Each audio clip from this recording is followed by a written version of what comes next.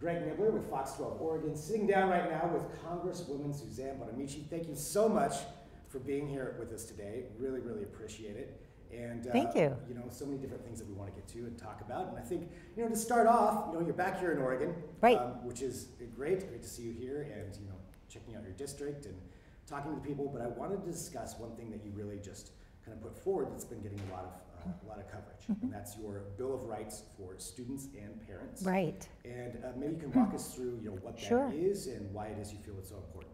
Thank you. Well, thank you for the invitation, and it's great to be here. Well, I serve on the Education Committee, which is my passion. Uh, and when I heard that the Education Committee was considering parental involvement, I thought, great, sign me up. It's something I did for years. My kids went through public schools right here in the Beaverton School District. Uh, and I know how important it is for parents to be involved. And then I took a look at what the majority party was putting forward. And to me and to a lot of people I spoke with, educators, parents, students, it didn't address the issue of parental rights.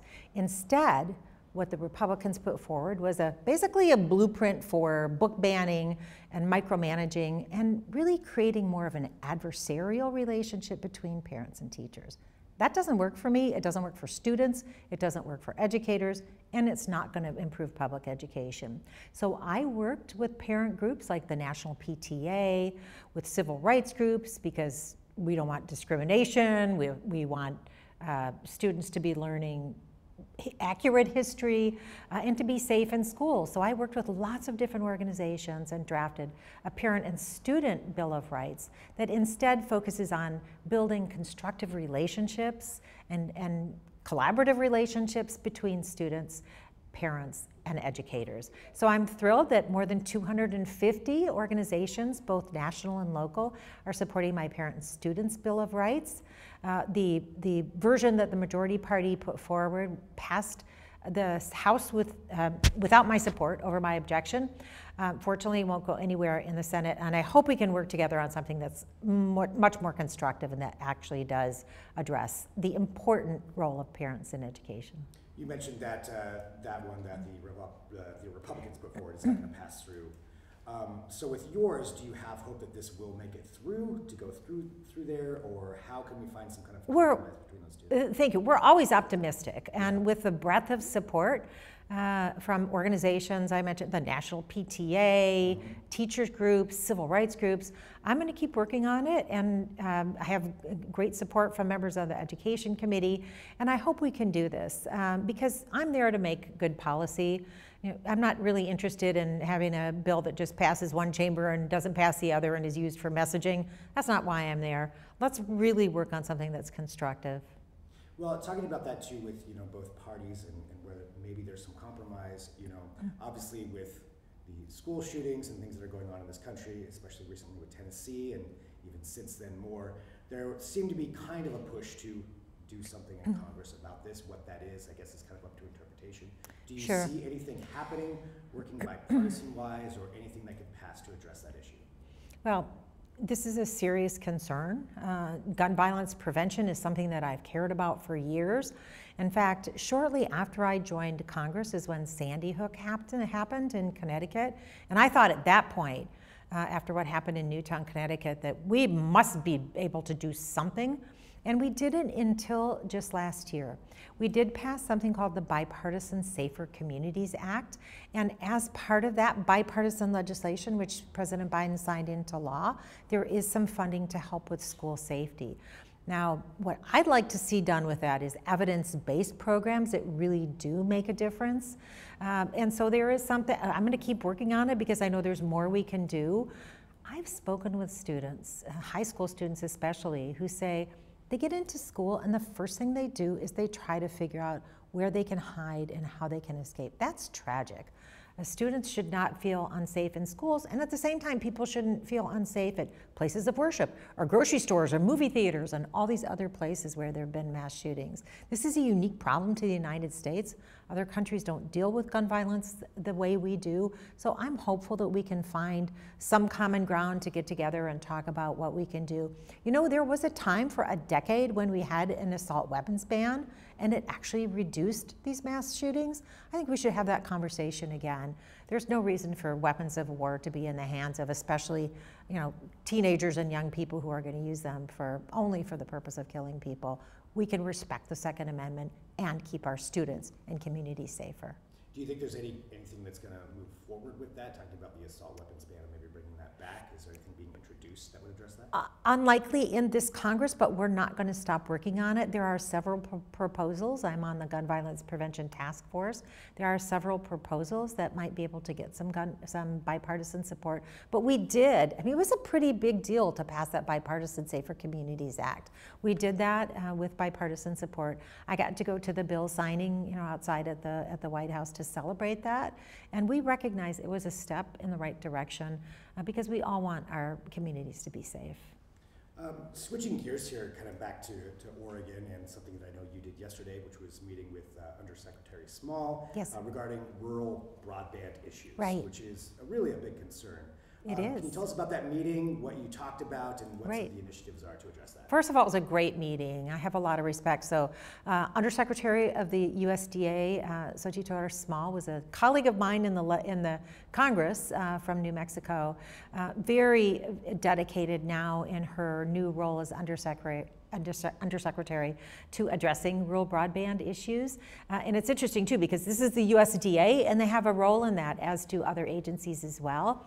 And so we had a good conversation and we had a lot of different voices around the table, including a student, for example. Uh, we were at a school where we held the meeting, and the student told us about how challenging it was trying to do uh, virtual learning during uh, the height of COVID. And he was so, you could just sense the frustration in his voice. He's, I'd be trying to do a math test, and everything would shut down, and then, you know, I, I fell behind, and it was really, really frustrating. Uh, and we spoke with a woman who's a doctor who lives in Yamhill County. Her telemedicine is so critical to have uh, broadband, and it, it only works if people have the connectivity.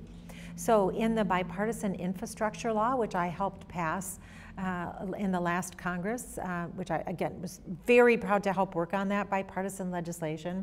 I've been in Congress a little more than 10 years. We talked about infrastructure a lot. We had infrastructure weeks and infrastructure months and infrastructure work groups. We didn't get it done until the last Congress. There's funding in there for, uh, for, for rural broadband, and the undersecretary was here to uh, show her support for implementing those funds and for recognizing how serious it is for our economy, for education, for healthcare. Um, so it was a great meeting, and we had those those voices around the table, including people like Commissioner um, Yamamoto from Tillamook County, uh, people I mentioned in healthcare and education. So I'm I'm hopeful that uh, we're going to really see these dollars come in and see that connectivity. Um, talking about that, you know, even you know, your district in particular, there's lots of rural areas there. Absolutely. You know, that would certainly need access to this. So if this, you know, assuming the funding comes through, is there a plan on how that would be implemented? Is it rolling out more actual lines? Is it using satellite? Is there any kind of specifics as far as that is? Um, I don't have the specifics now, but I know that there are a lot of people in the planning process. Uh, and you know, working with those rural communities is so important. So I don't have Yamhill County in the district anymore, but I, I'm honored to have Tillamook County added. Uh, and so we know how, how large Tillamook County is and how important that connectivity is to places like Tillamook County, Clatsop County, Columbia County, also in the district. But I do want to note that um, even in Multnomah County, there are places when um, Portland Public Schools told me at the height of COVID. Some of their students were struggling, and in, in, even in the Portland Public School District. So the pandemic highlighted the need for, uh, for broadband, and uh, I'm committed to getting it done.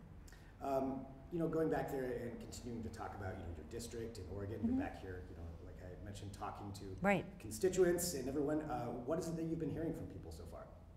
Well, we had a great meeting yesterday as well about the CHIPS and Science Act, another big piece of legislation that I was very proud to help pass, uh, and the importance of that funding and what the semiconductor and tech industry means for Oregon. And what I want to emphasize about that is the workforce piece. there's a lot of jobs involved, and this is something that I hear about in many different contexts. For example, it's not just people who are engineers, it's people to build buildings. There is a great program at Portland Community College we visited yesterday, the mechatronics program, uh, that prepares people to work in the semiconductor industry. Um, they don't need PhDs, and some, some of them don't even need uh, bachelor's degrees to get good jobs and what that means for the economy. But it also comes up in healthcare. For example, workforce needs are tremendous. So, one of the bipartisan bills that I have is to expand uh, mental health services for educators who are very burnout. We know there's student mental health needs and educator mental health needs. We need the workforce to do that. And so, as a member of the Education and Workforce Committee, I'm very committed to uh, finding pathways for people to get into these good jobs, whether it be through career and technical education, registered apprenticeships, workforce programs, affordable higher education, college, community college. Um, those are all pieces that are going to help get people skilled up for a lot of these good jobs that are coming to Oregon and across the country. Are these programs you're working on right now that somebody could take advantage of or coming soon? Well, there are many. There are many programs that exist right now. Uh, in fact, the first bill signing I went to as a member of Congress was called the Workforce Innovation and Opportunity Act, and those are workforce programs that currently exist. There are programs that exist like Pell Grants, for example, and work study for low income students to make higher education more affordable. Do we need more? Absolutely. That's how I got through college on my own with a combination of grants and loans and work study. Um, but college was less expensive when I went to school. So we're seeing, of course, the, the high student loan debt that people have. We need to break down those barriers and find a path for people. Uh, registered apprenticeships, again, an opportunity for uh, for people to get um, on the job training. Uh, we're working on expanding those as well. Some of those are, already exist. Uh, here in Oregon, uh, the labor organizations have had them. Our now new member of Congress, former labor commissioner, Congresswoman Val Hoyle, worked on that at the state level, expanding those opportunities for a pathway to a good job. Um, we some of the pathways exist. We need to make uh, them easier and less expensive and break down the barriers so people can get those good jobs.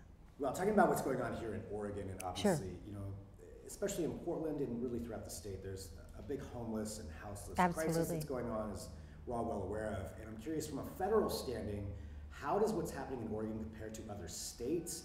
And is there anything at the federal level that's kind of going on to maybe address some of these issues? Yes, and I uh, thank you for, for um, uh, mentioning that because that is something that does come up, not just in Portland.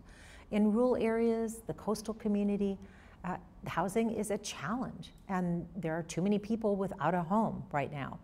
Uh, and yes, it does happen in other places across the country. We know other areas are also um, seeing that significant challenge uh, of homelessness, but also very high housing costs, which is part of it. I'm encouraged uh, by recent conversations that we've had. There is a federal role, but it is going to take federal, state, local, public, private, everyone working together to address it. We desperately need more affordable housing, and that's something where the federal government can make a difference.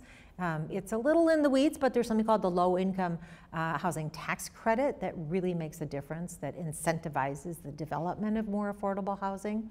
And then we need more treatment options. Obviously, not everyone without a home uh, needs treatment, uh, but sometimes people need health care, mental health care, treatment for addiction or substance use disorders, we need to make that more available and more accessible.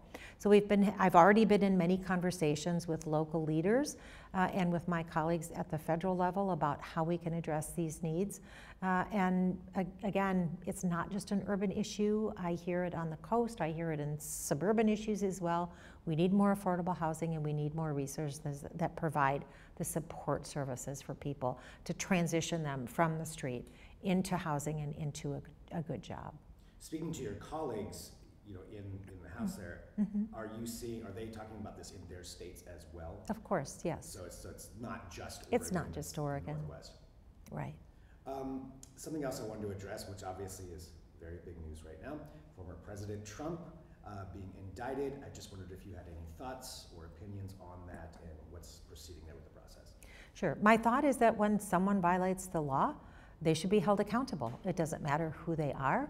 Our system of justice is designed that way. And uh, it's my understanding from what I've seen uh, that there was enough evidence for a grand jury in New York to indict the former president on, I believe it's 34 counts. Um, and that's how the justice system works. So now the president, of course, is presumed innocent and there will be a trial. So that is the justice system that we have. Uh, I think it would send a terrible message if someone violated the law and was not held accountable because of the power that that person had. That's not a fair and equitable justice system. So we'll let the, the court in New York, not the court of public opinion, decide what will happen to the former president. Well, Representative, you know, the, the last thing I just kind of want to bring up here is, you know, as we're proceeding through this year, not quite to the halfway point, is there any one particular thing that you really want to accomplish as we as we go through the year? Oh, that, that's a big, that's a big, que- that's hard. I don't know if I can pick just one. I do want to note um, that I have been, because this is an important issue, I've been working to address the climate crisis and climate change since um, my time in Congress uh, and even in the state legislature to some extent, but it really is a serious issue. And we're seeing the effects here in Oregon and across the country and around the globe. The increase in severe weather events, in intensity, in frequency, we see, you know, we had that heat dome. People lost their lives. We see raging wildfires and in, in some places drought. Um, I work on a lot of ocean issues, ocean acidification affecting the health of our ocean. These things are affecting uh, health, uh, they're affecting our economy, and they're affecting our future. So I was really honored to serve on the Select Committee on the Climate Crisis, and we wrote a science based comprehensive climate action plan. Many of the pieces have been already passed into law or put into rule. Uh, and we're going to keep working on those. And I'm happy to say that on the Science Committee, we just moved forward several bills, include and all bipartisan, including bills to deal with ocean acidification and more research on these issues. So this is a serious, serious issue that affects everyone, and we need to take bold action. So um, it. It is a, a sort of overarching issue that affects everyone, so I would like to continue to make progress on climate change, and I mentioned some of these efforts have been bipartisan. I'm the co-chair of the Bipartisan Oceans Caucus. Um, we're working on keeping the ocean healthy, because if the ocean's not healthy, the planet's not healthy. So um, there, there are many issues, um, education, climate, housing. I, I care about all of them, so I'm not gonna pick just one. Fair enough. Well, Congresswoman, thank you so much uh, for spending some time with us here to talk about all of this, and appreciate you and what you're doing, and for everybody watching. My pleasure. Nibler with Fox 12 Oregon.